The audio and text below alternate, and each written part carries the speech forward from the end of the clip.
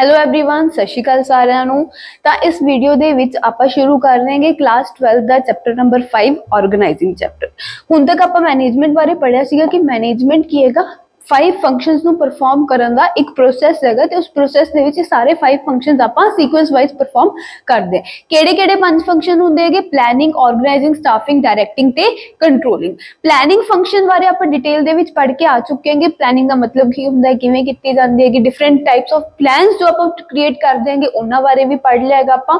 ਹੁਣ organising chapter ਬਾਰੇ ਆਪਾਂ ਪੜਾਂਗੇ ਕਿ ਆਰਗੇਨਾਈਜ਼ਿੰਗ ਫੰਕਸ਼ਨ ਕੀ ਹੁੰਦਾ ਹੈਗਾ? ਆਰਗੇਨਾਈਜ਼ਿੰਗ ਕਿਵੇਂ ਕੀਤੀ ਜਾਂਦੀ ਹੈਗੀ? ਤੇ ਹੋਰ ਕਿਹੜੀਆਂ-ਕਿਹੜੀਆਂ ਚੀਜ਼ਾਂ ਆਰਗੇਨਾਈਜ਼ਿੰਗ ਦੇ ਚੈਪਟਰ ਦੇ ਵਿੱਚ ਆਉਣਗੀਆਂ ਤਾਂ ਦੇਖੋ ਆਰਗੇਨਾਈਜ਼ਿੰਗ ਦਾ ਮਤਲਬ ਕੀ ਹੈਗਾ?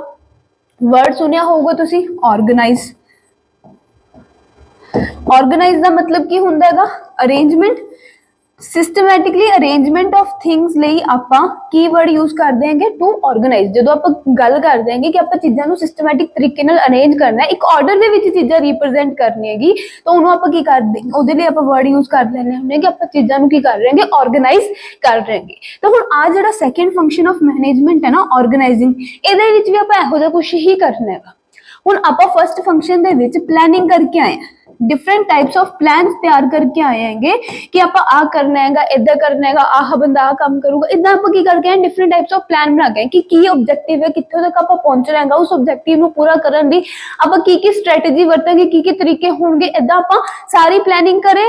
ਕੀ ਕਰਨਾ ਕਿਵੇਂ ਕਰਨਾ ਸਾਰਾ ਕੁਝ ਹੁਣ ਉਸ ਪਲੈਨਿੰਗ ਦੇ ਅਕੋਰਡਿੰਗ ਉਸ ਪਲੈਨਿੰਗ ਦੇ ਅਕੋਰਡਿੰਗ ਆਪਾਂ ਕੰਮ ਸ਼ੁਰੂ ਕਰ ਸਕੀਏ ਆਪਣੇ ਆਬਜੈਕਟਿਵ ਨੂੰ ਅਚੀਵ ਕਰਨ ਲਈ ਇਸ ਲਈ ਆਪਾਂ ਕੀ ਕਰਨੀ ਹੈਗੀ ਅਰੇਂਜਮੈਂਟ ਆਫ ਥਿੰਗਸ ਕਰਨੀ ਹੈਗੀ ਅਰੇਂਜਮੈਂਟ ਆਫ ਥਿੰਗਸ ਦਾ ਕੀ ਮਤਲਬ ਹੈਗਾ ਕਿ ਕੰਮ ਕਿਸ ਤਰ੍ਹਾਂ ਨਾਲ ਹੋਊਗਾ ਕੰਮ ਕਰਨ ਲਈ ਮੈਨੂੰ ਕਿਸ ਤਰ੍ਹਾਂ ਦਾ ਢਾਂਚਾ ਚਾਹੀਦਾ ਹੋਊਗਾ, ਕੰਮ ਕਰਨ ਲਈ, ਮੇਰਾ ਫਰੇਮਵਰਕ ਕੀ ਹੋਊਗਾ ਆਰਗੇਨਾਈਜੇਸ਼ਨ ਦਾ?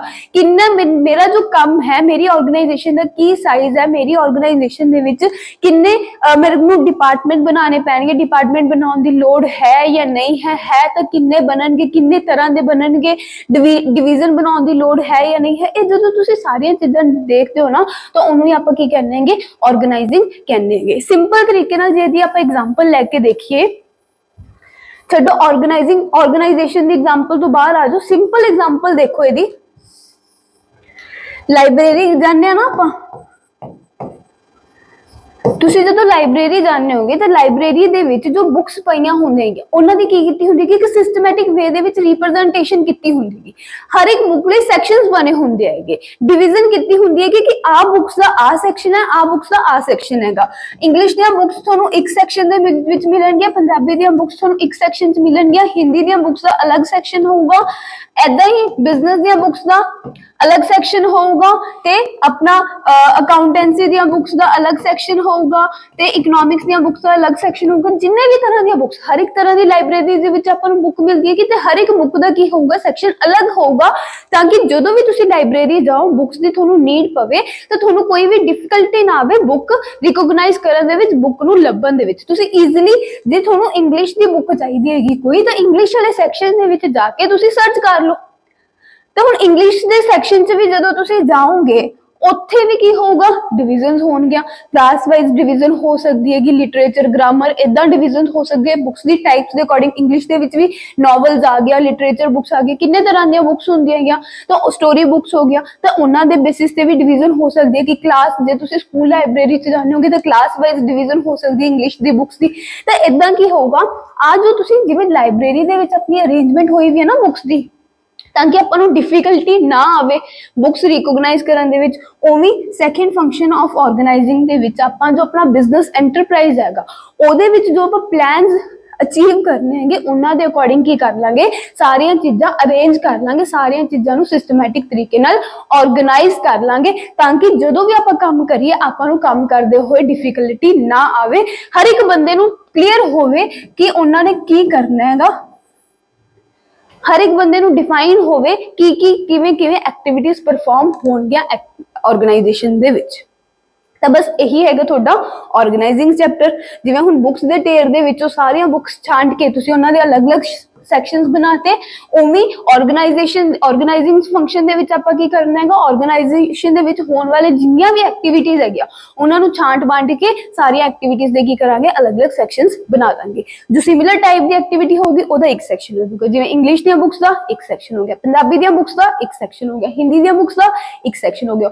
ਉਦਾਂ ਹੀ ਸਿਮਿਲਰ ਟਾਈਪ ਦੀਆਂ ਜੋ ਐਕਟੀਵਿਟੀਜ਼ ਹੋਣਗੀਆਂ, ਉਹਨਾਂ ਨੂੰ ਸੈਕਸ਼ਨਸ ਵਾਈਜ਼ ਗਰੁੱਪ ਵਾਈਜ਼ ਆਪਾਂ ਕੀ ਕਰ ਦਾਂਗੇ ਡਿਫਰੈਂਸ਼ੀਏਟ ਕਰ ਦਾਂਗੇ ਤਾਂ ਕਿ ਉਹਨਾਂ ਐਕਟੀਵਿਟੀਜ਼ ਨੂੰ ਪਰਫਾਰਮ ਕਰਨ ਦੇ ਵਿੱਚ ਆਪਾਂ ਨੂੰ ਡਿਫਿਕਲਟੀ ਨਾ ਆਵੇ। ਹੁਣ ਜੇ ਮੰਨ ਲਓ ਇੰਗਲਿਸ਼ ਦੀਆਂ ਬੁੱਕਸ ਹਿੰਦੀ ਵਾਲੇ ਸੈਕਸ਼ਨ ਦੇ ਵਿੱਚ ਪਈਆਂ ਹੋਣੀਆਂ ਹਿੰਦੀ ਵਾਲੀਆਂ ਬੁੱਕਸ ਇਕਨੋਮਿਕਸ ਵਾਲੇ ਸੈਕਸ਼ਨ ਦੇ ਵਿੱਚ ਪਈਆਂ ਹੋਣਗੇ ਲੱਭਣ 'ਚ ਡਿਫਿਕਲਟੀ ਆਊਗੀ ਕਿ ਨਹੀਂ ਆਊਗੀ? ਬਿਲਕੁਲ ਆਊਗੀ। ਤਾਂ ਉਹ ਡਿਫਿਕਲਟੀ ਆਪਾਂ ਨੂੰ ਨਾ ਆਵੇ ਕੰਮ ਕਰਦੇ ਹੋਏ, ਆਪਣਾ ਆਬਜੈਕਟਿਵ ਅਚੀਵ ਕਰਨ ਦੇ ਵਿੱਚ, ਤਾਂ ਉਹਦੇ ਲਈ ਹੀ ਆਪਾਂ ਕੀ ਕਰਨੀ ਹੈਗੀ? ਆਰਗੇਨਾਈਜ਼ਿੰਗ ਕਰਨੀ ਹੈ। ਆਰਗੇਨਾਈਜ਼ਿੰਗ ਦਾ ਮਤਲਬ ਸਮਝ ਆ ਗਿਆ ਕਲੀਅਰ ਹੋ ਗਿਆ ਬਿਲਕੁਲ। ਕੀ ਹੁੰਦਾ ਹੈਗਾ ਆਰਗੇਨਾਈਜ਼ਿੰਗ ਚਲੋ ਹੁਣ ਆਪਾਂ ਇੱਕ ਵਾਰੀ ਬੁੱਕ ਚੋਂ ਡੈਫੀਨੇਸ਼ਨ ਪੜ੍ਹ ਲਈਏ। ਆਰਗੇਨਾਈਜ਼ਿੰਗ ਦਾ ਕੀ ਮਤਲਬ ਹੈ? It refers to the process of defining organising की किएगा, एक प्रोसेस हैगा। ठीक है? प्रोसेस का देगा of defining and grouping the activities of an enterprises and establishing authority relationship among them organising जो है, एक प्रोसेस है। ਦੇਖੋ, ਕਰਨਾ ਤਾਂ ਆਪਾਂ ਉਹੀ ਹੈਗਾ ਆਰਡਰ ਦੇ ਵਿੱਚ ਸਾਰਾ ਕੁਝ ਅਰੇਂਜ ਕਰਨਾ ਹੈਗਾ ਤਾਂ ਕਿ ਆਪਾਂ ਨੂੰ ਕੰਮ ਕਰਨ ਦੇ ਵਿੱਚ ਪਰੇਸ਼ਾਨੀ ਨਾ ਆਵੇ। ਇੱਕ ਸਟਰਕਚਰਲ ਫਰੇਮਵਰਕ ਦਾ ਬਣਾ ਲੈਣਾ ਹੈਗਾ, ਜਿਹਦੇ ਵਿੱਚ ਰਹਿ ਕੇ ਆਪਾਂ ਸਾਰਿਆਂ ਨੇ ਕੰਮ ਕਰਨਾ ਹੁਣ ਉਹ ਸਟਰਕਚਰਲ ਫਰੇਮਵਰਕ ਜੋ ਹੈ, ਉਹ ਡਿਫਾਈਨ ਕਿਵੇਂ ਹੋਊਗਾ? ਸਾਰਿਆਂ ਨਾਲੋਂ ਪਹਿਲਾਂ ਤਾਂ ਆਪਾਂ ਕੀ ਕਰਾਂਗੇ?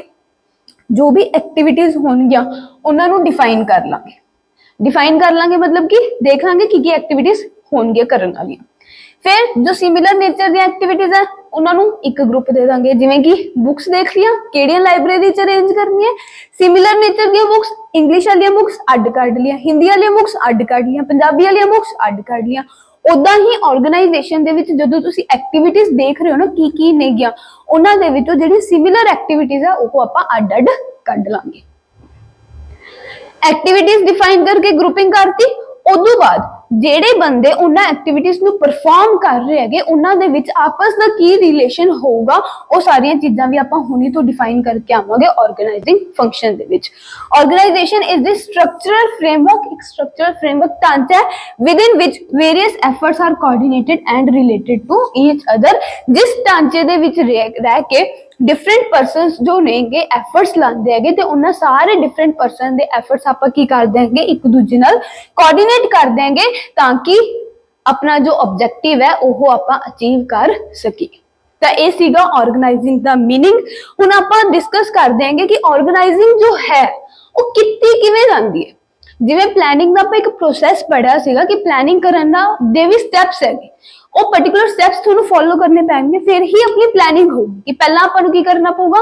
ਆਇਡੈਂਟੀਫਾਈ ਕਰਨਾ ਪਊਗਾ ਆਬਜੈਕਟਿਵ ਸੈੱਟ ਕਰਨਾ ਪਊਗਾ। ਫਿਰ ਉਸ ਤੋਂ ਬਾਅਦ ਕੀ ਕਰਨਾ ਹੈ? ਉਸ ਆਬਜੈਕਟਿਵ ਨੂੰ ਜੋ ਆਪਾਂ ਸੈੱਟ ਕੀਤਾ, ਉਹਦੇ ਰਿਲੇਟਡ ਆਪਾਂ ਪ੍ਰੀਮਿਸਿਸ ਡਿਵੈਲਪ ਕਰਨੇ ਹੈਗੇ। ਫਿਰ ਆਪਾਂ ਅਲੱਗ-ਅਲੱਗ ਡਿਫਰੈਂਟ ਡਿਫਰੈਂਟ ਮੈਥਡਸ ਆਪਾਂ ਆਇਡੈਂਟੀਫਾਈ ਕਰਨੇ ਹੈਗੇ। ਤਾਂ ਇਦਾਂ ਇੱਕ ਪੂਰਾ ਪ੍ਰੋਸੈਸ ਫੋਲੋ ਕਰਕੇ ਆਪਾਂ ਕੀ ਕਰ ਦੇਂਗੇ ਪਲੈਨਿੰਗ ਕਰ ਦੇਂਗੇ ਉਦਾਂ ਹੀ ਜਦੋਂ ਤੁਸੀਂ ਆਪਦੇ ਆਰਗੇਨਾਈਜੇਸ਼ਨ ਦੇ ਵਿੱਚ ਆਰਗੇਨਾਈਜ਼ਿੰਗ ਕਰਨੀ ਹੈਗੀ, ਤਾਂ ਆਰਗੇਨਾਈਜ਼ਿੰਗ ਕਰਨ ਦਾ ਵੀ ਕੀ ਹੈਗਾ? ਇੱਕ ਪ੍ਰੋਸੈਸ ਹੈ। ਤੇ ਇਸ ਪ੍ਰੋਸੈਸ ਦੇ ਵਿੱਚ ਪੂਰੇ ਚਾਰ ਸਟੈਪਸ ਨੇਗੇ। ਚਾਰੋਂ ਸਟੈਪਸ ਤੁਹਾਨੂੰ ਸਟੈਪ ਬਾਈ ਸਟੈਪ ਪਰਫਾਰਮ ਕਰਨੇ ਪੈਣਗੇ, ਫਿਰ ਆਰਗੇਨਾਈਜ਼ਿੰਗ ਡਨ ਹੋ ਜੂਗੀ। ਪਹਿਲਾ ਸਟੈਪ ਆਪਾਂ ਨੂੰ ਕੀ ਕਹਿੰਦਾ ਹੈਗਾ? Identification and division of work ਸਾਰਿਆਂ ਨਾਲੋਂ ਪਹਿਲਾਂ ਤਾਂ ਜੋ ਵੀ ਆਬਜੈਕਟਿਵ ਸੈੱਟ ਕੀਤਾ ਹੈਗਾ, ਉਸ ਆਬਜੈਕਟਿਵ ਦੇ ਅਕੋਰਡਿੰਗ ਆਪਾਂ ਸਾਰੀਆਂ ਐਕਟੀਵਿਟੀਜ਼ ਸਾਰਾ ਕੰਮ ਜੋ ਹੈ ਵਰਕ ਜੋ ਹੈ, ਉਹਨੂੰ ਡਿਫਾਈਨ ਕਰਕੇ ਡਿਵਾਈਡ ਕਰ ਲਾਂਗੇ ਅੱਡ ਅੱਡ ਕੱਢ ਦਾਂਗੇ ਆ ਕੰਮ ਆ ਕੰਮ ਆ ਕੰਮ ਆ ਕੰਮ। ਹੁਣ ਤੁਹਾਨੂੰ ਲਾਇਬ੍ਰੇਰੀ ਵਾਲੀ ਐਗਜ਼ਾਮਪਲ ਬਿਲਕੁਲ ਸਮਝ ਆ ਗਈ ਨਾ, ਉਹਦੇ ਹਿਸਾਬ ਨਾਲ ਉਹਨਾਂ ਨਾਲ ਰਿਲੇਟ ਕਰਕੇ ਹੀ ਆਪਾਂ ਇੱਕ ਬਿਜ਼ਨਸ ਦੀ ਐਗਜ਼ਾਮਪਲ ਲੈ ਕੇ ਆਰਗੇਨਾਈਜ਼ਿੰਗ ਸਮਝਦੇ ਹਾਂ, ਠੀਕ ਹੈ? ਤਾਂ ਹੁਣ ਦੇਖੋ ਬਿਜ਼ਨਸ ਦੇ ਵਿੱਚ ਪਰਚੇਜ਼ ਕਰਨੀ ਹੈਗੀ ਆਪਾਂ। ਪਰਚੇਜ਼ ਰॉ ਮਟੀਰੀਅਲ ਵੀ ਕਰਾਂਗੇ। ਕੁਝ ਫਿਨਿਸ਼ਡ ਗੁੱਡਸ ਵੀ ਕਰਾਂਗੇ। ਇਦਾਂ ਹੀ ਗੁੱਡਸ ਨੂੰ ਬਣਾਉਣ ਲਈ ਜੋ ਆਪਾਂ ਨੂੰ ਛੋਟੇ-ਮੋਟੇ ਟੂਲਸ ਵਗੈਰਾ ਚਾਹੀਦੇ ਹੁੰਦੇ ਹੈਗੇ, ਠੀਕ ਹੈ, ਜਾਂ ਫਿਰ ਹੋਰ ਕੋਈ ਵੀ ਅਸੈਸਰੀ ਚਾਹੀਦੀ ਹੈਗੀ, ਉਹ ਸਾਰਾ ਕੁਝ ਵੀ ਆਪਾਂ ਪਰਚੇਸ ਕਰਾਂਗੇ, ਤਾਂ ਇੱਕ ਤਾਂ ਇਹ ਕੰਮ ਹੋ ਗਿਆ। ਫਿਰ ਜੋ ਆਪਾਂ ਪਰਚੇਸ ਕੀਤਾ, ਫਿਰ ਉਹਦੀ ਆਪਾਂ ਪ੍ਰੋਡਕਸ਼ਨ ਕਰਾਂਗੇ, ਉਹਨੂੰ ਕਨਵਰਟ ਕਰਾਂਗੇ ਇਨਟੂ ਫਿਨਿਸ਼ਡ ਪ੍ਰੋਡਕਟ ਇਹ ਕੰਮ ਹੋ ਗਿਆ। ਫਿਰ ਜੋ ਪ੍ਰੋਡਕਟ ਤਿਆਰ ਹੋਏਗਾ, ਉਹਨੂੰ ਆਪਾਂ ਵੇਚਣਾ ਹੈਗਾ। ਵੇਚਣ ਵਾਸਤੇ ਉਹਦੀ ਐਡਵਰਟਾਈਜ਼ਮੈਂਟ ਕਰਨੀ ਪਊਗੀ ਤਾਂ ਕਿ ਕਸਟਮਰਸ ਨੂੰ ਉਸ ਪ੍ਰੋਡਕਟ ਦੀ ਇਨਫੋਰਮੇਸ਼ਨ ਮਿਲੇ। ਉਸ ਪ੍ਰੋਡਕਟ ਦੀ ਆਪਾਂ ਨੂੰ ਪੈਕੇਜਿੰਗ ਕਰਨੀ ਪਊਗੀ। ਉਸ ਪ੍ਰੋਡਕਟ ਦੀ ਆਪਾਂ ਨੂੰ ਬ੍ਰਾਂਡਿੰਗ ਕਰਨੀ ਪਊਗੀ ਤਾਂ ਕਿ ਆਪਣਾ ਪ੍ਰੋਡਕਟ ਵੱਧ ਤੋਂ ਵੱਧ ਵਿਕੇ। ਠੀਕ ਹੈ? ਉਸ ਪ੍ਰੋਡਕਟ ਦੀ ਆਪਾਂ ਨੂੰ ਮਾਰਕੀਟਿੰਗ ਕਰਨੀ ਪਊਗੀ।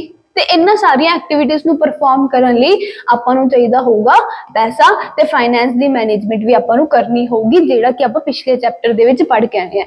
9th ਚੈਪਟਰ ਲਾਸਟਲੀ ਆਪਾਂ ਡਿਸਕਸ ਕੀਤਾ ਸੀਗਾ, ਉਹਦੇ ਵਿੱਚ ਆਪਾਂ ਕੀ ਡਿਸਕਸ ਕੀਤਾ ਸੀਗਾ ਕਿ ਫਾਈਨੈਂਸ ਦੀ ਮੈਨੇਜਮੈਂਟ ਕਰਨਾ ਵੀ ਕੀ ਹੁੰਦਾ ਹੈ? ਬਹੁਤ ਜ਼ਰੂਰੀ ਹੁੰਦਾ ਹੈ। ਤਾਂ ਫਾਈਨੈਂਸ ਮੈਨੇਜਮੈਂਟ ਵੀ ਇੱਕ ਵਾਈਟਲ ਇੰਪੋਰਟੈਂਟ ਐਕਟੀਵਿਟੀ ਹੈ ਕਿ ਕਿਸੇ ਵੀ ਆਰਗੇਨਾਈਜੇਸ਼ਨ ਵਾਸਤੇ। ਤਾਂ ਇੱਕ ਫਾਈਨੈਂਸ ਦੀ ਮੈਨੇਜਮੈਂਟ ਦੀ ਐਕਟੀਵਿਟੀ ਵੀ ਆਪਾਂ ਇੱਥੇ ਗਿਣ ਲਈ।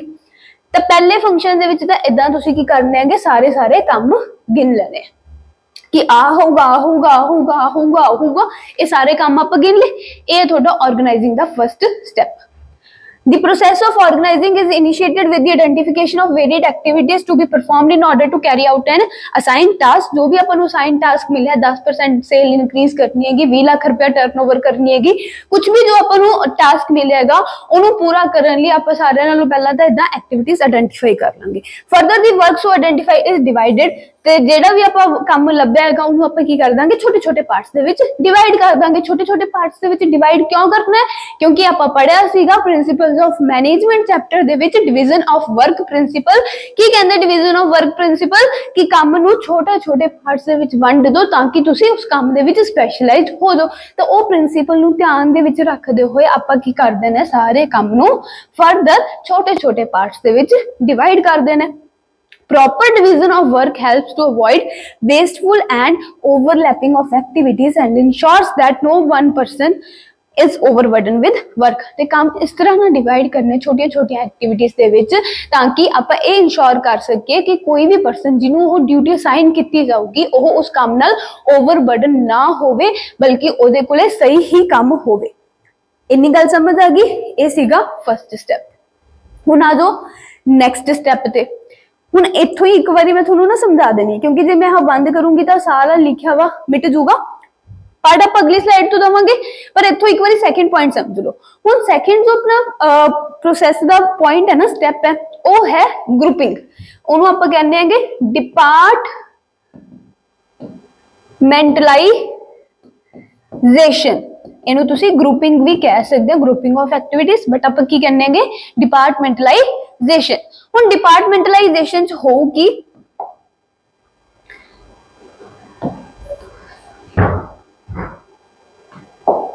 ਹੁਣ ਡਿਪਾਰਟਮੈਂਟਲਾਈਜੇਸ਼ਨ ਚ ਕੀ ਹੋਊਗਾ? ਜਿਵੇਂ ਕਿ ਆਪਾਂ ਪਰਚੇਜ਼ ਰਿਲੇਟਡ ਐਕਟੀਵਿਟੀਜ਼ ਦੇਖੀ, ਕਿ ਰॉ ਮਟੀਰੀਅਲ ਪਰਚੇਜ਼ ਕਰਨਾ ਹੈ ਫਿਨਿਸ਼ਡ ਗੁੱਡਸ ਪਰਚੇਜ਼ ਕਰਨੀ ਹੈ ਟੂਲਸ ਵਗੈਰਾ ਐਟਸੈਕਟਰਾ ਪਰਚੇਸ ਕਰਨੀ ਹੈਗੀਆਂ। ਹੁਣ ਆ ਜਿਹੜੀਆਂ ਐਕਟੀਵਿਟੀਜ਼ ਆਪਾਂ ਸਾਰੀਆਂ ਦੇਖੀਆਂ ਹੈਗੀਆਂ, ਇਹ ਸਾਰੀਆਂ ਐਕਟੀਵਿਟੀਜ਼ ਪਰਚੇਜ਼ ਰਿਲੇਟਡ ਹੈਗੀਆਂ, ਤਾਂ ਇਹਨਾਂ ਦਾ ਆਪਾਂ ਕੀ ਕੀਤਾ? ਇੱਕ ਗਰੁੱਪ ਬਣਾਤਾ। ਫਿਰ ਉਸ ਤੋਂ ਬਾਅਦ ਪ੍ਰੋਡਕਸ਼ਨ ਰਿਲੇਟਡ ਜੋ ਵੀ ਐਕਟੀਵਿਟੀਜ਼ ਹੋਣਗੀਆਂ, ਉਹ ਸਾਰੀਆਂ ਸਿਮਿਲਰ ਹੋਣਗੀਆਂ, ਉਹਨਾਂ ਦਾ ਇੱਕ ਗਰੁੱਪ ਹੋ ਗਿਆ। ਐਡਵਰਟਾਈਜ਼ਮੈਂਟ ਕਰਾਣੀ ਬ੍ਰਾਂਡਿੰਗ ਕਰਾਣੀ ਮਾਰਕੀਟਿੰਗ ਕਰਨੀ, ਸਮਾਨ ਵੇਚਣਾ, ਇਹ ਸਾਰੀਆਂ ਮਾਰਕੀਟਿੰਗ ਤੇ ਸੇਲ ਰਿਲੇਟਡ ਐਕਟੀਵਿਟੀਜ਼ ਹੈ, ਇਹ ਸਾਰੀਆਂ ਆਪਾਂ ਇੱਕ ਗਰੁੱਪ ਚ ਪਾਤੀਆਂ ਫਾਈਨੈਂਸ ਰਿਲੇਟਡ ਜੋ ਵੀ ਤੁਸੀਂ ਐਕਟੀਵਿਟੀਜ਼ ਪਰਫਾਰਮ ਕਰ ਰਹੇ ਹੋ ਫਾਈਨੈਂਸ ਨੂੰ ਆਬਟੇਨ ਕਰਨਾ, ਉਹਦੀ ਆਪਟੀਮਮ ਯੂਟਿਲਾਈਜੇਸ਼ਨ ਕਰਨੀ, ਅਲੱਗ-ਅਲੱਗ ਫੈਕਟਰਸ ਨੂੰ ਐਨਾਲਿਸਿਸ ਕਰਨਾ, ਇਹ ਸਾਰੀਆਂ ਅਲੱਗ-ਅਲੱਗ ਜੋ ਵੀ ਐਕਟੀਵਿਟੀਜ਼ ਹੋਣਗੀਆਂ ਪਰਫਾਰਮ ਉਹਨਾਂ ਰਿਲੇਟਡ ਆਪਾਂ ਇੱਕ ਡਿਪਾਰਟਮੈਂਟ ਬਣਾਤਾ ਫਾਈਨੈਂਸ ਤਾਂ ਸੈਕਿੰਡ ਜੋ ਤੁਹਾਡਾ ਹੈ ਸਟੈਪ ਹੈ ਡਿਪਾਰਟਮੈਂਟਲਾਈਜੇਸ਼ਨ ਇਹ ਤੁਹਾਨੂੰ ਸਿਰਫ ਇੰਨੀ ਕੀ ਹੀ ਗੱਲ ਕਹਿੰਦਾ ਹੈਗਾ ਕਿ ਜੋ ਤੁਸੀਂ ਆਹ ਐਕਟੀਵਿਟੀਜ਼ ਆਇਡੈਂਟੀਫਾਈ ਕਰਕੇ ਡਿਵਾਈਡ ਕੀਤੀ ਹੈ ਨਾ, ਇਹਨਾਂ ਚੋਂ ਦੇਖ ਲਓ ਕਿਹੜੀਆਂ ਸਿਮਿਲਰ ਐਕਟੀਵਿਟੀਜ਼ ਨੇ। ਜਿਵੇਂ ਕਿ ਇੰਗਲਿਸ਼ ਦੀਆਂ ਹਰ ਤਰ੍ਹਾਂ ਦੀਆਂ ਬੁੱਕਸ ਕੀ ਹੈਗੀਆਂ? ਇੰਗਲਿਸ਼ ਦੀਆਂ ਬੁੱਕਸ ਹੈਗੀਆਂ ਉਹ ਸਾਰੇ ਢੇਰ ਆਫ ਦੀ ਬੁੱਕਸ ਜਿਹੜੀਆਂ ਵੀ ਆਪਣੇ ਕੋਲੇ ਬੁੱਕਸ ਦਾ ਢੇਰ ਪਿਆ ਇੰਗਲਿਸ਼ ਹਿੰਦੀ ਪੰਜਾਬੀ ਉਹਨਾਂ ਦੇ ਵਿੱਚੋਂ ਇੰਗਲਿਸ਼ ਦੀਆਂ ਛਾਂਟ ਕੇ ਕੀ ਕੱਢ ਲਓ?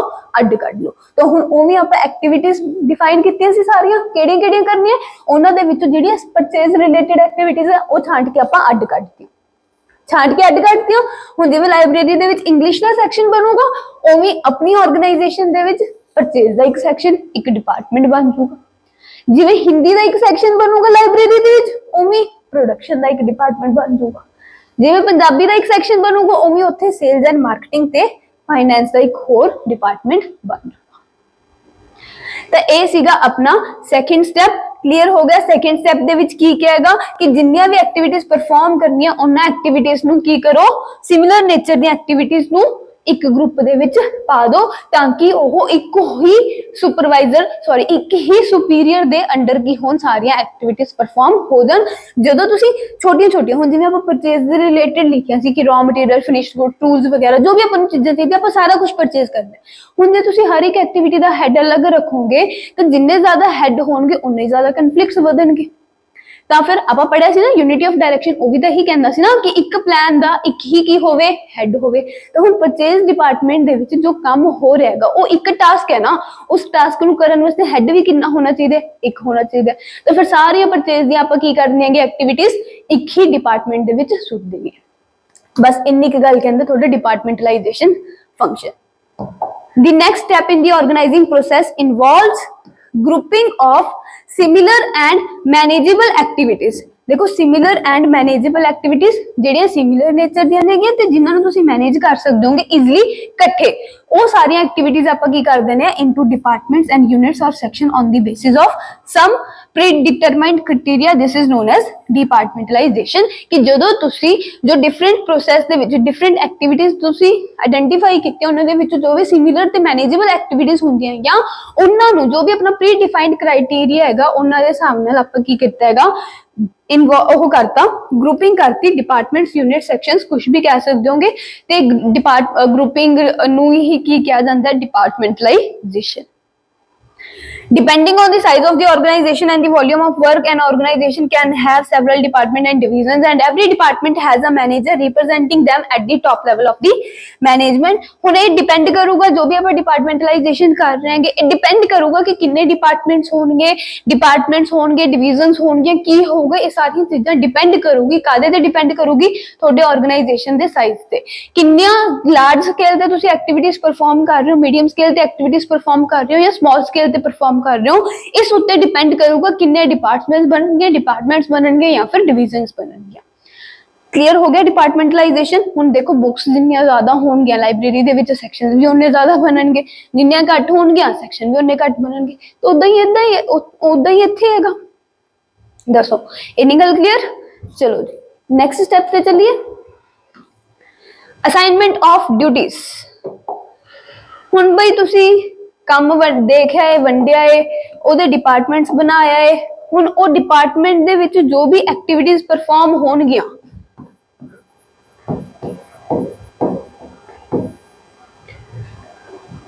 ਹੁਣ ਉਸ ਡਿਪਾਰਟਮੈਂਟ ਦੇ ਵਿੱਚ ਜੋ ਵੀ ਐਕਟੀਵਿਟੀਜ਼ ਪਰਫਾਰਮ ਹੋਣਗੀਆਂ, ਉਹਨਾਂ ਐਕਟੀਵਿਟੀਜ਼ ਦੀ ਦੇਖ ਰੇਖ ਲਈ ਆਪਾਂ ਨੂੰ ਇੱਕ ਹੈੱਡ ਚਾਹੀਦਾ ਹੈ ਕਿ ਉਹ ਸਾਰੇ ਬੰਦੇ ਜਿਹੜੇ ਵੀ ਇਸ ਡਿਪਾਰਟਮੈਂਟ ਦੇ ਵਿੱਚ ਕੰਮ ਕਰਨਗੇ, ਉਹਨਾਂ ਨੂੰ ਸਾਂਭ ਸਕੇ, ਉਹਨਾਂ ਤੋਂ ਕੰਮ ਕਰਵਾ ਸਕੇ। ਤੇ ਹੋਰ ਵੇਰੀਅਸ ਨੰਬਰ ਆਫ ਪਰਸਨਸ ਆਪਾਂ ਨੂੰ ਚਾਹੀਦੇ ਹੋਣਗੇ ਜਿਹੜੇ ਕਿ ਇਹਨਾਂ ਐਕਟੀਵਿਟੀਜ਼ ਨੂੰ ਜੋ ਕਿ ਇਸ ਡਿਪਾਰਟਮੈਂਟ ਦੇ ਵਿੱਚ ਪਰਫਾਰਮ ਕੀਤੀਆਂ ਜਾਣਗੀਆਂ, ਉਹਨਾਂ ਨੂੰ ਪਰਫਾਰਮ ਕਰ ਸਕਣ। ਤਾਂ ਬਸ ਥਰਡ ਸਟੈਪ ਦੇ ਵਿੱਚ ਆਪਾਂ ਉਹੀ ਦੇਖਣਾ ਹੈਗਾ ਕਿ ਜਦੋਂ ਤੁਸੀਂ ਗਰੁੱਪਿੰਗ ਕਰਕੇ ਆ ਰਹੇ ਹੋ ਡਿਪਾਰਟਮੈਂਟਸ ਐਸਟੈਬਲਿਸ਼ ਕੀਤੇ ਹੈਗੇ ਤੁਸੀਂ, ਉਦੋਂ ਬਾਅਦ ਆਪਾਂ ਉਸ ਡਿਪਾਰਟਮੈਂਟਸ ਦੇ ਵਿੱਚ ਕੀ ਕਰ ਦੇਣੀ ਹੈਗੀ ਅਸਾਈਨਮੈਂਟ ਆਫ ਡਿਊਟੀਆਂ ਕਰ ਦੇਣੀ ਹੈ। ਕਿ ਆ, ਜੋ ਲੀਡਰ ਵਾਲਾ ਕੰਮ ਹੈ ਹੈੱਡ ਦੀ ਪੋਜੀਸ਼ਨ ਤੇ ਤੁਹਾਨੂੰ ਹੈਡ ਹੈਡ ਲਈ ਕਿਸ ਪੋਜੀਸ਼ਨ ਦਾ ਬੰਦਾ ਚਾਹੀਦਾ ਕਿਸ ਕੈਪੇਬਿਲਿਟੀ ਦਾ ਬੰਦਾ ਚਾਹੀਦਾ ਜਿਸ ਪਰਸਨ ਨੂੰ ਤੁਸੀਂ ਹੈਡ ਬਣਾਉਣਾ ਉਹਦੇ ਕੋਲੇ ਕਿੰਨੀ ਨੌਲੇਜ ਹੋਣੀ ਚਾਹੀਦੀ ਕੀ ਉਹਦੇ ਕੋਲੇ ਸਕਿੱਲਸ ਹੋਣੀਆਂ ਚਾਹੀਦੀਆਂ ਇਹ ਸਾਰਾ ਕੁਝ ਤੁਸੀਂ ਦੇਖ ਲਓਗੇ। ਫਿਰ ਉਸ ਤੋਂ ਬਾਅਦ ਇਸ ਡਿਪਾਰਟਮੈਂਟ ਦੇ ਵਿੱਚ ਜੋ ਬੰਦੇ ਕੰਮ ਕਰਨਗੇ, ਉਹਨਾਂ ਦੀ ਕੈਪੇਬਿਲਿਟੀ ਕੀ ਹੋਊਗੀ? ਮਤਲਬ ਪਰਸਨਸ ਦੀ ਕੈਪੇਬਿਲਿਟੀ ਦੇ ਹਿਸਾਬ ਨਾਲ ਆਪਾਂ ਕੀ ਕਰ ਦੇਣਾ ਹੈਗਾ, ਉਹਨਾਂ ਨੂੰ ਕੰਮ ਅਸਾਈਨ ਕਰ ਦੇਣਾ third step assignment of duties ਦੇ once the departments are created they have to be placed under the leadership of a competent persons ਉਹਨਾਂ ਨੂੰ ਆਪਾਂ ਕੀ ਕਰ ਦੇਣਾ ਇੱਕ ਹੈਡ ਜੋ ਵੀ ਕੰਪੀਟੈਂਟ ਹੈ ਉਸ ਕੰਮ ਨੂੰ ਕਰਨ ਲਈ ਤੇ ਕਰਵਾਉਣ ਲਈ ਉਹਦੇ ਅੰਡਰ ਪਲੇਸ ਕਰ ਦੇਣਾ ਹੈ also the work is assigned to individual EMPLOYE on the basis of their relative potential ਬਸ ਜੋ ਵੀ ਕੰਮ ਤੁਸੀਂ ਡਿਵਾਈਡ ਕਰਕੇ ਗਰੁੱਪਿੰਗ ਡਿਪਾਰਟਮੈਂਟ ਬਣਾ ਕੇ ਆਏ ਹੋ ਤੇ ਉਹਨਾਂ ਡਿਪਾਰਟਮੈਂਟਸ ਵਿੱਚ ਜੋ ਕੰਮ ਹੋਣ ਵਾਲਾ ਹੈਗਾ ਉਹਨਾਂ ਨੂੰ ਆਪਾਂ ਨੰਬਰ ਆਫ ਪੀਪਲਸ ਦੇ ਵਿੱਚ ਕੀ ਕਰ ਦੇਣਾ ਹੈਗਾ ਅਸਾਈਨ ਕਰ ਦੇਣਾ ਹੁਣ ਕੰਮ ਕਿਵੇਂ ਅਸਾਈਨ ਕਰੋਗੇ ਉਸ ਹਿਸਾਬ ਨਾਲ ਅਸਾਈਨ ਕਰੋਗੇ ਕਿ ਬੰਦੇ ਨੂੰ ਉਹ ਕੰਮ ਕਰਨਾ ਆਂਦਾ ਹੋਵੇ ਸਾਇੰਸ ਦੀ ਟੀਚਰ ਹੈ ਤਾਂ ਸਾਇੰਸ ਦੇ ਸਬਜੈਕਟਸ ਪੜਾਉਣ ਨੂੰ ਹੀ ਕਵਾਂਗੇ ਸਾਇੰਸ ਦੀ ਟੀਚਰ ਨੂੰ ਅਕਾਊਂਟਸ ਪੜਾਉਣ ਨੂੰ ਨਹੀਂ ਕਵਾਂਗੇ ਤਾਂ ਇਹ ਆ ਗਿਆ ਤੁਹਾਡਾ assignment of duties there should be a proper match between the nature of job and the ability of an individual ਜੋ ਵੀ ਤੁਸੀਂ ਕੰਮ ਕਰ ਰਹੇ ਹੋਗੇ ਕਿਸ ਨੇਚਰ ਦਾ ਹੈਗਾ ਤੇ ਉਸ ਬੰਦੇ ਉਸ ਕੰਮ ਨੂੰ ਕਰਨ ਵਾਲਾ ਬੰਦੇ ਦੀ ਕੀ ਕੈਪੇਬਿਲਿਟੀਜ਼ ਹੈ ਇਹ ਆਪਸ ਦੇ ਵਿੱਚ ਮੈਚ ਹੋਣੀਆਂ ਚਾਹੀਦੀਆਂ ਜੇ ਮੈਚ ਨਹੀਂ ਹੋਣਗੀਆਂ ਤਾਂ ਕੰਮ ਵਧੀਆ ਨਹੀਂ ਹੋਊਗਾ ਸਾਇੰਸ ਵਾਲੇ ਟੀਚਰ ਜੇ ਅਕਾਊਂਟਸ ਪੜਾਣਗੇ ਤਾਂ ਕਦੇ ਵੀ ਬੱਚੇ ਨੂੰ ਅਕਾਊਂਟਸ ਨਹੀਂ ਆ ਪਾਊਗਾ क्लियर होगा third step next establishing reporting relations ਹੁਣ ਉਦੋਂ ਬਾਅਦ ਕੰਮ ਵੰਡਿਆ ਹੈ, ਤੁਸੀਂ ਅਸਾਈਨ ਕਰਿਆ ਹੈ, ਹਰ ਇੱਕ ਬੰਦੇ ਨੂੰ ਕੀ ਉਹਦਾ ਕੰਮ ਹੋਊਗਾ ਕੀ ਉਹਦੀ ਡਿਊਟੀ ਹੋਊਗੀ ਉਦੋਂ ਬਾਅਦ ਤੁਸੀਂ ਕੀ ਕਰਨਾ ਹੈਗਾ ਜਿਹੜੇ ਵੀ ਇੱਕ ਡਿਪਾਰਟਮੈਂਟ ਦੇ ਵਿੱਚ ਬੰਦੇ ਕੰਮ ਕਰ ਰਹੇ ਜਾਂ ਡਿਫਰੈਂਟ ਡਿਪਾਰਟਮੈਂਟਸ ਦੇ ਵਿੱਚ ਜੋ ਪਰਸਨਸ ਕੰਮ ਕਰ ਰਹੇਗੇ ਉਹਨਾਂ ਦਾ ਆਪਸ ਦੇ ਵਿੱਚ ਕੀ ਰਿਲੇਸ਼ਨ ਹੋਊਗਾ ਕੌਣ ਬੰਦਾ ਕਿਹਨੂੰ ਰਿਪੋਰਟ ਕਰੂਗਾ ਕੌਣ ਬੰਦਾ ਕਿਹਨੂੰ ਜਾ ਕੇ ਕਮਾਂਡ ਦਊਗਾ ਇਹ ਵੀ ਆਪਾਂ ਕੀ ਕਰਾਂਗੇ ਇੱਥੇ ਆਰਗੇਨਾਈਜ਼ਿੰਗ ਦੇ ਵਿੱਚ ਸਾਰਾ ਕੁਝ ਡਿਫਾਈਨ ਕਰਕੇ ਆ ਜਾਾਂਗੇ in the organisation each employee has some authority as well as some responsibility ਆਪਾਂ ਇਹ ਵੀ ਪੜਿਆ ਸੀਗਾ ਕਿ ਹਰ ਇੱਕ ਬੰਦੇ ਦੀ ਆਰਗੇਨਾਈਜੇਸ਼ਨ ਦੇ ਵਿੱਚ ਜਦੋਂ ਤੁਸੀਂ ਅਸਾਈਨਮੈਂਟ ਆਫ ਡਿਊਟੀ ਕੀਤੀ ਹੈਗੀ ਤਾਂ ਉਸ ਕੰਮ ਕਰਨ ਦੀ ਕਿਸੇ ਨੂੰ ਰਿਸਪੌਂਸਿਬਿਲਟੀ ਦੇ ਰਹੇ ਹੋ ਰਿਸਪੌਂਸਿਬਿਲਟੀ ਦੋਗੇ ਤਾਂ ਅਥਾਰਟੀ ਵੀ ਦੇਣੀ ਪਊਗੀ ਤੇ ਜੇ ਕਿਸੇ ਬੰਦੇ ਕੋਲ ਕੋਈ ਕੰਮ ਕਰਨ ਦੀ ਅਥਾਰਟੀ ਹੈ ਤਾਂ ਉਸ ਕੰਮ ਲਈ ਉਹੀ ਬੰਦਾ ਕੀ ਹੋਊਗਾ ਰਿਸਪੌਂਸਿਬਲ ਹੋਊਗਾ ਜ਼ਿੰਮੇਵਾਰ ਹੋਊਗਾ it is necessary that every individual must know whom he has to take orders from and to whom he is answerable. ਹੁਣ ਆਪਾਂ ਦੇਖੋ ਯੂਨਿਟੀ ਆਫ ਕਮਾਂਡ ਪ੍ਰਿੰਸੀਪਲ ਪੜਿਆ ਸੀ ਨਾ, ਉਹਦੇ ਵਿੱਚ ਕੀ ਕਹਿੰਦੇ ਸੀਗੇ ਕਿ ਇੱਕ ਟਾਈਮ ਤੇ ਇੱਕ ਹੀ EMPLOYER, EMPLOYEE ਨੂੰ, ਇੱਕ ਹੀ EMPLOYEE ਨੂੰ ਆਰਡਰਸ ਦੇ ਸਕਦਾ ਕਮਾਂਡ ਦੇ ਸਕਦਾ। ਇੱਕ ਟਾਈਮ ਤੇ ਇੱਕ ਤੋਂ ਵੱਧ ਇੱਕ ਤੋਂ ਵੱਧ EMPLOYERS, EMPLOYEE ਨੂੰ ਕਮਾਂਡ ਨਹੀਂ ਦੇ ਸਕਦੇਗੇ। ਇਹ ਯੂਨਿਟੀ ਆਫ ਕਮਾਂਡ ਕਹਿੰਦਾ ਸੀਗਾ। ਤਾਂ ਫਿਰ ਦੇਖੋ, ਜੇ ਜਿਸ ਪਰਸਨ ਨੂੰ ਕਮਾਂਡ ਮਿਲ ਰਹੀ ਹੈ ਜਿਸ ਵੀ ਪਰਸਨ ਨੂੰ ਕਮਾਂਡ ਮਿਲ ਰਹੀ ਹੈਗੀ, ਜੇ ਉਹਨੂੰ ਕਲੀਅਰ ਹੈ ਕਿ ਉਹਨੂੰ ਕਮਾਂਡ ਕਿਹਦੇ ਤੋਂ ਮਿਲੂਗੀ, ਤਾਂ ਫਿਰ ਗੱਲ ਹੀ ਖਤਮ, ਰੌਲਾ ਹੀ ਨਹੀਂ ਪਊਗਾ, ਉਹ ਕਨਫਿਊਜ਼ ਹੀ ਨਹੀਂ ਹੋਊਗਾ, ਉਹ ਦੂਜੇ ਬੰਦੇ ਦੀ ਕਮਾਂਡ ਹੀ ਨਹੀਂ ਲਊਗਾ। ਦਿੱਕਤ ਕਿੱਥੇ ਆਊਗੀ? ਜਿੱਥੇ ਉਹਨੂੰ ਕਲੀਅਰ ਨਹੀਂ ਹੈਗਾ। ਤਾਂ ਬਸ ਇੱਥੇ ਆਪਾਂ ਉਹੀ ਚੀਜ਼ ਕਲੀਅਰ ਕਰਕੇ ਆਣੀ ਹੈਗੀ ਕਿ ਹਰ ਇੱਕ ਬੰਦੇ ਨੂੰ ਪਤਾ ਹੋਵੇ ਕਿ ਉਹਨੂੰ ਆਰਡਰਸ ਕਿਹਦੇ ਤੋਂ ਮਿਲਣਗੇ ਤੇ ਉਹ ਬੰਦਾ ਕਿਹਨੂੰ ਜਾ ਕੇ ਆਪਦੇ ਕੰਮ ਤੇ ਰਿਪੋਰਟ ਕਰੂਗਾ। This creates a superior subordinate hierarchy. Hierarchy basically ਕੀ ਹੁੰਦੀ ਹੈਗਾ ਸਟੈਪ ਬਾਈ ਸਟੈਪ ਇੱਕ ਤਰ੍ਹਾਂ ਨਾਲ ਤੁਸੀਂ ਐ ਸਮਝੋ ਪੌੜੀ ਹੈ hierarchy ਪੌੜੀ ਕਿਵੇਂ ਟਾਪ ਲੈਵਲ ਸਭ ਤੋਂ ਉੱਪਰ ਹੁੰਦਾ ਹੈ ਫਿਰ ਉਸ ਤੋਂ ਬਾਅਦ ਮਿਡਲ ਲੈਵਲ ਫਿਰ ਉਸ ਤੋਂ ਬਾਅਦ ਲੋਅਰ ਲੈਵਲ ਤਾਂ ਆ ਜਿਹੜੀ ਪੌੜੀ ਬਣੀ ਆ ਰਹੀ ਹੈ ਨਾ, ਕਿ ਟਾਪ ਲੈਵਲ ਜੋ ਹੈ ਮਿਡਲ ਲੈਵਲ ਨੂੰ ਕਮਾਂਡ ਦਊਗਾ ਮਿਡਲ ਲੈਵਲ ਜੋ ਹੈ ਲੋਅਰ ਲੈਵਲ ਨੂੰ ਕਮਾਂਡ ਦਊਗਾ। ਤੇ ਜੋ ਮਿਡਲ ਲੈਵਲ ਲੋਅਰ ਲੈਵਲ ਹੈ ਆਪਦੇ ਕੰਮ ਦੀ ਰਿਪੋਰਟ ਮਿਡਲ ਲੈਵਲ ਨੂੰ ਕਰੂਗਾ ਤੇ ਮਿਡਲ ਲੈਵਲ ਰਿਪੋਰਟ ਕਿਹਨੂੰ ਕਰੂਗਾ? ਟਾਪ ਲੈਵਲ ਨੂੰ। ਇਹਨੂੰ ਕਿਹਾ ਜਾਂਦਾ ਹੈਗਾ ਹਿਰਾਰਕੀ ਤਾਂ ਇਹ and helps in coordinating various activities in the organisation ਤੇ ਜਦੋਂ ਤੁਸੀਂ ਐਸਟੈਬਲਿਸ਼ਿੰਗ ਕਰ ਦਿੰਦੇ ਹੋਗੇ ਰਿਪੋਰਟਿੰਗ ਰਿਲੇਸ਼ਨਸ ਨੂੰ ਐਸਟੈਬਲਿਸ਼ ਕਰ ਦਿਓਗੇ, ਤਾਂ ਇਦਾਂ ਇੱਕ ਤੁਸੀਂ ਹਾਇਰਾਰਕੀ ਐਸਟੈਬਲਿਸ਼ ਕਰ ਲੈਂਦੇ ਹਰ ਇੱਕ ਬੰਦੇ ਦੇ ਵਿੱਚ, ਆਪਸ ਦੇ ਵਿੱਚ ਕੀ ਰਿਲੇਸ਼ਨ ਹੋਊਗਾ, ਕੌਣ ਕਿਹਦਾ ਸੀਨੀਅਰ ਹੈ, ਕੌਣ ਕਿਹਦਾ ਜੂਨੀਅਰ ਹੈ, ਕੌਣ ਕਿਹਨੂੰ ਜਾ ਕੇ ਰਿਪੋਰਟ ਕਰੂਗਾ, ਕੌਣ ਕਿਤੋਂ ਆਰਡਰਸ ਲਊਗਾ, ਇਹ ਆਪਾਂ ਕੀ ਕਰਕੇ ਆਣਾ ਡਿਫਾਈਨ ਕਰਕੇ ਆਉਣਾ ਤਾਂ ਕਿ ਜਦੋਂ ਵੀ ਪਰਸਨਸ ਕੰਮ ਕਰਨ ਤਾਂ ਹਰ ਇੱਕ ਬੰਦੇ ਨੂੰ ਕਲੀਅਰ ਹੋਵੇ ਉਹਨੂੰ ਕੌਣ ਕੰਮ ਦਊਗਾ ਕਿਹਦੇ ਕੋਲੇ ਉਹਨੇ ਆਪਦੀ ਪ੍ਰੋਬਲਮ ਲੈ ਕੇ ਜਾਣਾ ਹੈ ਤਾਂ ਇਹ ਸੀਗਾ ਆਰਗੇਨਾਈਜ਼ਿੰਗ ਦਾ ਪੂਰਾ ਪ੍ਰੋਸੈਸ ਚਾਰ ਸਟੈਪਸ ਹੈਗੇ। ਪਹਿਲੇ ਸਟੈਪਸ ਦੇ ਵਿੱਚ ਆਪਾਂ ਨੂੰ ਕੀ ਕਿਹਾ ਹੈਗਾ ਕਿ identification and division of work ਕਰਨੀ ਹੈਗੀ ਆਪਾਂ, ਕਿ ਜੋ ਵੀ ਕੰਮ ਹੈਗਾ ਉਹਨੂੰ ਆਪਾਂ ਛੋਟੇ ਛੋਟੇ ਪਾਰਟਸ ਦੇ ਵਿੱਚ ਡਿਵਾਈਡ ਕਰਕੇ ਰੱਖ ਲਾਂਗੇ। ਫਿਰ ਜਿਹੜੇ ਜਿਹੜੇ ਛੋਟੇ ਛੋਟੇ ਪਾਰਟਸ ਵੰਡੇ ਹੈਗੇ, ਉਹਨਾਂ ਤੋਂ ਜਿਹੜੇ ਸਿਮਿਲਰ ਕੰਮ ਹੈ, ਉਹ ਇੱਕ ਗਰੁੱਪ ਦੂਜਾ ਗਰੁੱਪ ਤੀਜਾ ਗਰੁੱਪ ਫਿਰ ਉਹਨਾਂ ਦੇ ਵਿੱਚ ਕੰਮ ਕਰਨ ਵਾਲੇ ਬੰਦੇ ਕਿਸ ਕੈਪੇਬਿਲਿਟੀ ਦੇ ਹੋਣੇ ਚਾਹੀਦੇ ਆ, ਉਹ ਆਪਾਂ ਸਾਈਨ ਕਰ ਦਾਂਗੇ ਡਿਊਟੀਆਂ ਉਹਨਾਂ ਨੂੰ ਠੀਕ ਹੈ? ਫਿਰ ਉਹਨਾਂ ਦੇ ਆਪਸ ਦੇ ਵਿੱਚ ਕੀ ਰਿਲੇਸ਼ਨ ਹੋਣਗੇ? ਇਹ ਸਾਰਾ ਕੁਝ ਆਪਾਂ ਡਿਫਾਈਨ ਕਰਕੇ ਆ ਦਾਂਗੇ। ਤਾਂ ਇਦਾਂ ਆਪਾਂ ਇੱਕ ਛੋਟਾ ਜਿਹਾ ਸਟਰਕਚਰ ਤਿਆਰ ਕਰ ਲਾਂਗੇ ਪਲਾਨ ਕਰਨ ਤੋਂ ਬਾਅਦ ਤਾਂ ਕਿ ਜਦੋਂ ਵੀ ਆਪਾਂ ਕੰਮ ਕਰੀਏ, ਕੰਮ ਕੀ ਹੋਵੇ, ਸਹੀ ਤਰੀਕੇ ਨਾਲ ਹੋਵੇ, ਕੰਮ ਕਰਨ ਦੇ ਵਿੱਚ ਆਪਾਂ ਨੂੰ ਕੋਈ ਵੀ ਦਿੱਕਤ ਨਾ ਆਵੇ। ਜੇ ਪਰਸਨਸ ਨੂੰ ਪਤਾ ਨਹੀਂ ਹੋਊਗਾ, ਉਹਨਾਂ ਨੇ ਕਿਹਨੂੰ ਕਮਾਂਡ ਦੇਣੀ ਹੈ ਕਿ ਕਿਹਨੂੰ ਜਾ ਕੇ ਉਹਨਾਂ ਨੇ ਰਿਪੋਰਟ ਕਰਨਾ ਹੈਗਾ, ਤਾਂ ਸਾਰੇ ਇੱਕ ਦੂਜੇ ਦੇ ਵਿੱਚ ਵੱਜਦੇ ਫਿਰਨਗੇ। ਕੰਮ ਹੀ ਨਹੀਂ ਹੋਊਗਾ।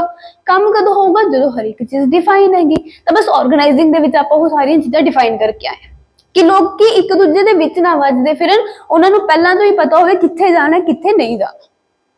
ਗੱਲ ਖਤਮ ਗੱਲ ਕਲੀਅਰ ਹੋਗੀ ਚਲੋ ਜੀ ਇੰਨੀ ਗੱਲ ਕਲੀਅਰ ਹੋਗੀ ਤਾਂ ਨੈਕਸਟ ਚੱਲਦੇ ਆਂਗੇ ਫੀਚਰਸ ਆਫ ਆਰਗੇਨਾਈਜ਼ਿੰਗ ਪ੍ਰੋਸੈਸ ਸਮਝ ਆ ਗਿਆ ਆਰਗੇਨਾਈਜ਼ਿੰਗ ਦਾ ਮਤਲਬ ਸਮਝ ਆ ਗਿਆ ਤਾਂ ਫੀਚਰਸ ਮਿੰਟਾਂ 'ਚ ਸਮਝ ਆ ਜਾਣਗੇ ਹੁਣ ਦੇਖੋ ਫਟਾਫਟ ਫੀਚਰਸ ਦੇਖ ਲਓ ਪਹਿਲਾ ਕੀ ਕਹਿੰਦਾ ਹੈਗਾ ਡਿਵੀਜ਼ਨ ਆਫ ਵਰਕ ਤਾਂ ਦੇਖੋ ਪਹਿਲਾ ਸਟੈਪ ਹੀ ਆਹ ਸੀਗਾ ਆਰਗੇਨਾਈਜ਼ਿੰਗ 'ਚ ਕਰ ਕੀ ਰਹੇ ਹੋ ਡਿਵੀਜ਼ਨ ਆਫ ਵਰਕ ਕਰ ਰਹੇ ਹੋ ਕੰਮ ਨੂੰ ਵੰਡ ਕੇ ਆ ਰਹੇ ਹੋਗੇ ਤਾਂ ਇਹ ਹੋ ਗਿਆ ਤੁਹਾਡਾ ਫਰਸਟ ਫੀਚਰ ਫਿਰ ਤੁਸੀਂ ਆਰਗੇਨਾਈਜ਼ਿੰਗ ਦੇ ਵਿੱਚ ਕੀ ਕਰ ਰਹੇ ਹੋਗੇ? ਕੋਆਰਡੀਨੇਸ਼ਨ ਵੀ ਐਸਟੈਬਲਿਸ਼ ਕਰ ਰਹੇ ਹੋ। ਕੋਆਰਡੀਨੇਸ਼ਨ ਕਾਦੇ ਵਿੱਚ ਐਸਟੈਬਲਿਸ਼ ਕਰ ਰਹੇ ਹੋ?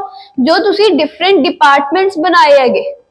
ਹੁਣ ਦੇਖੋ ਕੱਲਾ ਡਿਪਾਰਟਮੈਂਟਸ ਬਣਾਉਣ ਨਾਲ ਨਹੀਂ ਸਰੂਗਾ ਕਿ ਤੁਸੀਂ ਐਕਟੀਵਿਟੀਜ਼ ਵੰਡ ਕੇ ਉਹਨਾਂ ਦੇ ਡਿਪਾਰਟਮੈਂਟਸ ਬਣਾਤੇ।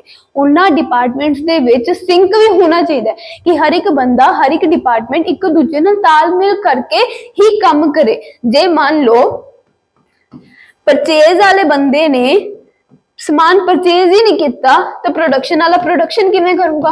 ਪ੍ਰੋਡਕਸ਼ਨ ਵਾਲਾ ਪ੍ਰੋਡਕਸ਼ਨ ਹੀ ਨਹੀਂ ਕੀਤੀ, ਤਾਂ ਸਮਾਨ ਸੇਲ ਕਿਵੇਂ ਹੋਊਗਾ?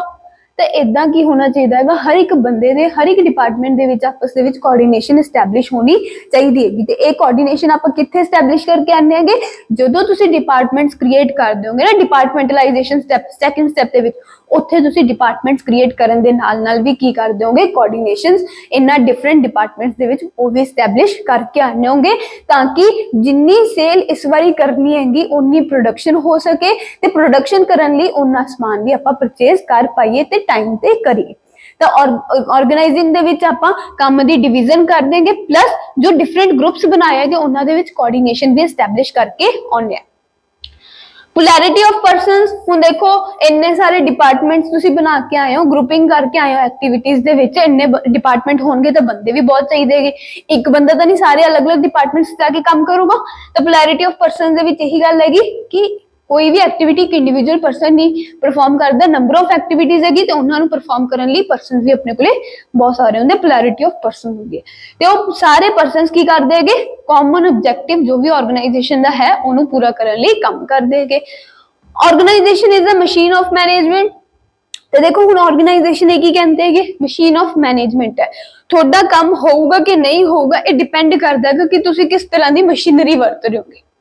ਤੁਸੀਂ ਅਕਾਊਂਟੈਂਟ ਹੋ ਪਲੱਸ 2 ਕਮਰਸ ਦੇ ਜਵਾਕ ਹੋਗੇ ਅਕਾਊਂਟਸ ਵੀ ਸਿੱਖੀ ਜਾਂਦੇ ਹੋਗੇ ਤੇ ਹੁਣ ਇਹ ਸਾਰਿਆਂ ਨੂੰ ਪਤਾ ਹੀ ਹੈ ਕਿ ਅੱਜ ਕੱਲ ਅਕਾਊਂਟੈਂਸੀ ਕਰਨ ਲਈ ਆਪਣੇ ਕੋਲੇ ਸੌਫਟਵੇਅਰਸ ਹੈਗੇ, ਤੇ ਹੁਣ ਸੌਫਟਵੇਅਰ ਤੁਸੀਂ ਲੈਪਟਾਪ ਕੰਪਿਊਟਰ ਤੇ ਵਰਤੋਗੇ।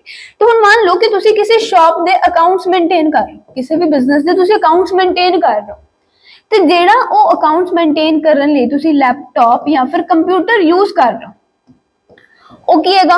ਬਹੁਤ ਸਲੋ ਹੈ। ਰੁਕ ਰੁਕ ਕੇ ਚੱਲਦਾ ਹੈਗਾ 2-5 ਮਿੰਟ ਲੱਗ ਜਾਂਦੇ, ਇੱਕ ਐਂਟਰੀ ਸੇਵ ਹੋਣ ਦੇ ਵਿੱਚ। ਕੀ ਤੁਹਾਨੂੰ ਕੰਮ ਕਰਨ ਦੇ ਵਿੱਚ ਮਜ਼ਾ ਆਊਗਾ? ਕਿ ਕੰਮ ਟਾਈਮ ਤੇ ਪੂਰਾ ਹੋਊਗਾ? ਨਹੀਂ ਹੋਊਗਾ, ਖਿਦਾਂਗੇ ਸਗਾਂ ਤਾਂ ਫਿਰ ਜੋ ਵੀ ਤੁਸੀਂ ਮਸ਼ੀਨ ਵਰਤ ਰਹੇ ਹੋਗੇ ਕੰਮ ਕਰਨ ਲਈ, ਉਹ ਕੀ ਹੋਣੀ ਚਾਹੀਦੀ ਹੈ? ਟਿਪ ਟਾਪ ਹੋਣੀ ਚਾਹੀਦੀ ਹੈ। ਜੇ ਟਿਪ ਟਾਪ ਨਹੀਂ ਹੈਗੀ, ਆਪਣਾ ਆਬਜੈਕਟਿਵ ਪੂਰਾ ਨਹੀਂ ਹੋਊਗਾ। ਤਾਂ ਆਰਗੇਨਾਈਜੇਸ਼ਨ ਨੂੰ ਨਾ, ਜਿਹੜਾ ਸੈਕਿੰਡ ਸਟੈਪ ਹੈਗਾ ਆਰਗੇਨਾਈਜੇਸ਼ਨ ਨੂੰ ਉਹ ਕੰਮ ਕਰਨ ਦੀ ਉਹ ਮਸ਼ੀਨ ਕਿਹਾ ਗਿਆ ਹੈਗਾ ਸੌਰੀ ਉਹ ਮਸ਼ੀਨ ਕਿਹਾ ਗਿਆ ਜਿਹਦੇ ਉੱਤੇ ਸਾਰਾ ਕੰਮ ਡਿਪੈਂਡ ਕਰਦਾ ਹੈ। ਹੁਣ ਤੁਹਾਡਾ ਕੰਮ, ਜੇ ਤੁਹਾਡਾ ਲੈਪਟਾਪ ਬਹੁਤ ਜ਼ਿਆਦਾ ਸਲੋ ਹੈ, ਤਾਂ ਤੁਹਾਡਾ ਕੰਮ ਵੀ ਕੀ ਹੋਊਗਾ? ਸਲੋ ਹੋਊਗਾ ਟਾਈਮ ਤੇ ਪੂਰਾ ਨਹੀਂ ਹੋਊਗਾ, ਹੋ ਸਕਦਾ ਹੈਗਾ। ਤਾਂ ਉਦਾਂ ਹੀ ਜੇ ਤੁਹਾਡੀ ਆਰਗੇਨਾਈਜ਼ਿੰਗ ਜੋ ਸਟਰਕਚਰ ਤੁਸੀਂ ਤਿਆਰ ਕੀਤਾ ਕੰਮ ਕਰਨ ਦਾ, ਉਹ ਵਧੀਆ ਨਹੀਂ ਹੋਊਗਾ, ਤਾਂ ਹੋ ਸਕਦਾ ਤੁਹਾਡਾ ਆਬਜੈਕਟਿਵ ਵੀ ਪੂਰਾ ਨਾ ਹੋਵੇ ਤੇ ਤੁਹਾਡੀ ਮੈਨੇਜਮੈਂਟ ਵੀ ਵਧੀਆ ਨਾ ਹੋਵੇ। ਕਲੀਅਰ ਹੋ ਗਏ ਫੀਚਰਸ ਤਾਂ ਆਰਗੇਨਾਈਜ਼ਿੰਗ ਕੀ ਹੈਗੀ? ਇੱਕ ਮਸ਼ੀਨ ਹੈਗੀ, ਤਾਂ ਧਿਆਨ ਨਾਲ ਬਹੁਤ ਸੋਚ ਸਮਝ ਕੇ ਤੁਹਾਨੂੰ ਆਰਗੇਨਾਈਜ਼ਿੰਗ ਕਰਨੀ ਪੈਂਦੀ ਹੈ, ਪੂਰਾ ਸਟਰਕਚਰ ਤਿਆਰ ਕਰਨਾ ਪੈਂਦਾ ਹੈਗਾ, ਆਪਦੇ ਆਬਜੈਕਟਿਵ ਨੂੰ ਧਿਆਨ 'ਚ ਰੱਖ ਕੇ। ਕੀ ਤੁਸੀਂ ਅਚੀਵ ਕਰਨਾ ਕਿੱਥੇ ਤੱਕ ਤੁਸੀਂ ਪਹੁੰਚਣਾ ਕਲੀਅਰ ਨੈਕਸਟ ਚਲੋ ਇੰਪੋਰਟੈਂਸ ਫਟਾਫਟ ਡਿਸਕਸ ਕਰ ਲਈਏ ਕਿ ਆਰਗੇਨਾਈਜ਼ਿੰਗ ਕਿਉਂ ਕਰਨੀ ਚਾਹੀਦੀ ਕੀ ਕੀ ਫਾਇਦੇ ਹੈਗੇ, ਕਿਉਂ ਇੰਪੋਰਟੈਂਟ ਆਰਗੇਨਾਈਜ਼ਿੰਗ ਕਰਨਾ। Benefits of specialisation division of work ਕੀਤੀ ਹੈਗੀ, ਕੰਮ ਨੂੰ ਵੰਡਿਆ ਛੋਟੇ ਛੋਟੇ ਪਾਰਟਸ ਦੇ ਵਿੱਚ ਤੇ ਜਦੋਂ ਇੱਕ ਬੰਦਾ ਉਸ ਕੰਮ ਨੂੰ ਅਸਾਈਨ ਕਰਕੇ ਆਇਆ, ਹੁਣ ਇੱਕ ਪਰਸਨ ਨੂੰ ਇੱਕ ਕੰਮ ਤੇ ਜਦੋਂ ਪਰਸਨ ਉਹ ਕੰਮ ਬਾਰ-ਬਾਰ ਕਰੂਗਾ ਤਾਂ ਉਹ ਕੀ ਹੋ ਜਾਊਗਾ ਉਸ ਕੰਮ ਦੇ ਵਿੱਚ? ਸਪੈਸ਼ਲਾਈਜੇਸ਼ਨ ਆ ਜੂਗੀ ਉਹਦੀ ਉਸ ਕੰਮ ਦੇ ਵਿੱਚ। ਤਾਂ ਫਿਰ ਸਪੈਸ਼ਲਾਈਜੇਸ਼ਨ ਦਾ ਬੈਨੀਫਿਟ ਅਚੀਵ ਕਰ ਸਕੀਏ ਤਾਂ ਕਰਕੇ ਆਪਾਂ ਕੀ ਕਰ ਦੇਂਗੇ ਆਰਗੇਨਾਈਜ਼ਿੰਗ ਕਰ ਦੇਂਗੇ ਕਲੈਰਿਟੀ ਇਨ ਵਰਕਿੰਗ ਰਿਲੇਸ਼ਨਸ ਹੁਣ ਜਦੋਂ ਤੁਸੀਂ ਐਸਟੈਬਲਿਸ਼ਿੰਗ ਰਿਪੋਰਟਿੰਗ ਰਿਲੇਸ਼ਨਸ ਕਰਕੇ ਆਨੋ ਕਿ ਆਪਾਂ ਹਰ ਇੱਕ ਬੰਦੇ ਦਾ ਆਪਸ ਦੇ ਵਿੱਚ ਕੀ ਰਿਲੇਸ਼ਨ ਹੋਊਗਾ, ਕੌਣ ਸਬਆਰਡੀਨੇਟ ਹੋਊਗਾ, ਕੌਣ ਸੁਪੀਰੀਅਰ ਹੋਊਗਾ, ਇਹ ਹਰ ਇੱਕ ਚੀਜ਼ ਆਪਾਂ ਡਿਫਾਈਨ ਕਰੇ ਤਾਂ ਹਰ ਇੱਕ ਬੰਦੇ ਨੂੰ ਕੀ ਹੋਊਗਾ ਕਲੈਰਿਟੀ ਹੋਊਗੀ ਕਿ ਉਹਦੇ ਸਾਹਮਣੇ ਵਾਲੇ ਪਰਸਨ ਨਾਲ ਕੀ ਰਿਲੇਸ਼ਨ ਹੈ। ਸੇਮ ਲੈਵਲ ਤੇ ਕੰਮ ਕਰਨ ਵਾਲੇ ਬੰਦੇ ਹੈ ਕਿ ਲੋਅਰ ਲੈਵਲ ਉਹਦੇ ਤੋਂ ਥੱਲੇ ਹੈ। ਫੋਰ ਐਗਜ਼ਾਮਪਲ ਕਿ ਆਹ A ਹੈ। ਹੁਣ ਨੰਬਰ ਆਫ ਪਰਸਨਸ ਕੰਮ ਕਰ ਰਹੇ ਹੋਣਗੇ, ਹੁਣ ਇਹਦੇ ਜੋ ਨੀਚੇ ਕੰਮ ਕਰ ਅੰਡਰ ਕੰਮ ਕਰ ਰਹੇ ਇਹਨੂੰ ਉਹਦੀ ਵੀ ਨੌਲੇਜ ਹੋਗੀ ਜਦੋਂ ਤੁਸੀਂ ਸਾਰੇ ਰਿਲੇਸ਼ਨਸ ਕ੍ਰੀਏਟ ਕਰੇ।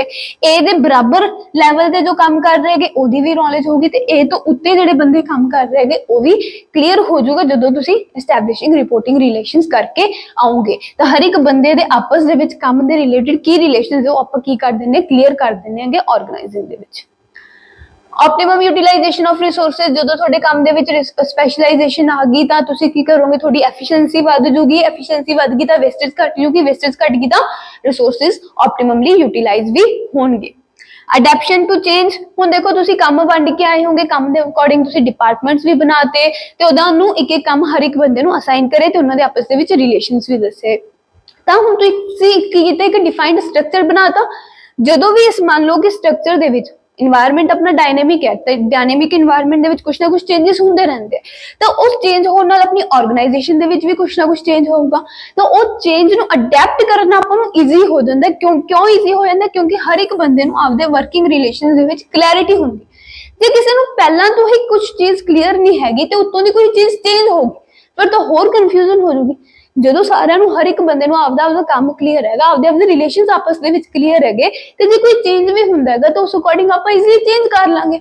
ਤਾਂ adaptation to change effective administration ਕਿ ਕੰਮ ਕਰਨ ਦਾ ਜੋ ਤਰੀਕਾ ਹੈਗਾ ਆਪਰੇਸ਼ਨਸ ਪਰਫਾਰਮ ਹੁੰਦੇ ਹੈਗੇ, ਉਹ ਸਮੂਥਲੀ ਹੋਣ ਲੱਗ ਜਾਂਦੇ ਸਪੈਸ਼ਲਾਈਜੇਸ਼ਨ ਆ ਜਾਂਦੇ ਰਿਸੋਰਸਸ ਆਪਟੀਮਮਲੀ ਯੂਜ਼ ਹੋਣ ਲੱਗ ਜਾਂਦੇ ਹੈਗੇ, ਤਾਂ ਆਪਣੀ ਐਡਮਿਨਿਸਟ੍ਰੇਸ਼ਨ ਵੀ ਕੀ ਹੋ ਜਾਂਦੀਗੀ ਵਧੀਆ ਹੋ ਜਾਂਦੀ ਹੈਗੀ। ਡਿਵੈਲਪਮੈਂਟ ਆਫ ਪਰਸਨਲ ਸਪੈਸ਼ਲਾਈਜੇਸ਼ਨ ਆ ਗਈ ਪਰਸਨਸ ਦੇ ਵਿੱਚ ਐਫੀਸ਼ੀਐਂਸੀ ਇਨਕਰੀਜ਼ ਹੋਗੀ ਤਾਂ ਉਹਨਾਂ ਦੀ ਡਿਵੈਲਪਮੈਂਟ ਵੀ ਹੋਣੀ ਤੈਅ ਹੈਗੀ। ਤਾਂ ਇਸ ਤਰ੍ਹਾਂ ਨਾਲ ਕੰਮ ਆਪਾਂ ਡਿਵਾਈਡ ਕਰ ਦਿਆਂਗੇ ਡਿਵੀਜ਼ਨ ਕਰਦੇ ਆ ਸਾਈਨ ਕਰ ਦਿਆਂਗੇ ਤਾਂ ਕਿ ਉਸ ਪਰਸਨ ਦੀ ਕੀ ਹੋਵੇ ਡਿਵੈਲਪਮੈਂਟ ਹੋ ਸਕੇ। ਤਾਂ ਹੁਣ ਨੈਕਸਟ ਪੁਆਇੰਟ ਕੀ ਆਂਦਾ? ਐਕਸਪੈਂਸ਼ਨ ਐਂਡ ਗਰੋਥ ਦੇਖੋ ਤੁਹਾਡੇ ਕੋਲ ਕੰਮ ਕਰਨ ਵਾਲੇ ਜਿਹੜੇ ਪਰਸਨਲ ਪਰਸਨਲ ਪਰਸਨਸ ਹੈਗੇ, ਉਹ ਵੀ ਆਪਦੇ ਆਪਦੇ ਕੰਮ ਦੇ ਵਿੱਚ ਡਿਵੈਲਪ ਹੋ ਗਏ ਸਪੈਸ਼ਲਾਈਜ਼ ਹੋ ਗਏ। ਪਲੱਸ ਜਦੋਂ ਤੁਸੀਂ ਕੰਮ ਨੂੰ ਡਿਵਾਈਡ ਕਰਤਾ ਵੇਰੀਅਸ ਨੰਬਰ ਆਫ ਪਰਸਨਸ ਦੇ ਕੋਲੇ, ਤਾਂ ਜਿਹੜੀ ਟਾਪ ਮੈਨੇਜਮੈਂਟ ਹੈ ਟਾਪ ਮੈਨੇਜਮੈਂਟ ਕੋਲੇ ਟਾਈਮ ਬਚ ਗਿਆ ਕਿ ਉਹ ਬਿਜ਼ਨਸ ਦੀ ਐਕਸਪੈਂਸ਼ਨ ਤੇ ਗਰੋਥ ਬਾਰੇ ਸੋਚ ਸਕੇ। ਤੇ ਜਦੋਂ ਤੁਸੀਂ ਤੁਹਾਡੇ ਕੋਲੇ ਟਾਈਮ ਹੈ, ਸੋਚਣ ਨੂੰ ਕਿ ਇਸ ਬਿਜ਼ਨਸ ਨੂੰ ਐਕਸਪੈਂਡ ਕਰਨਾ ਹੈ ਗਰੋ ਕਰਨਾ ਹੈ ਪਲੱਸ ਤੁਹਾਡੇ ਕੋਲੇ ਜਿਹੜੇ ਕੰਮ ਕਰਨ ਵਾਲੇ ਬੰਦੇ, ਉਹ ਵੀ ਕੈਂਟ ਹੈ, ਤਾਂ ਬਿਜ਼ਨਸ ਆਪੇ ਗਰੋ ਕਰ ਜਾਊਗਾ ਐਕਸਪੈਂਡ ਵੀ ਕਰ ਲਓਗੇ। ਤਾਂ ਇਹ ਕੁਝ ਬੈਨੀਫਿਟਸ ਹੈਗੇ।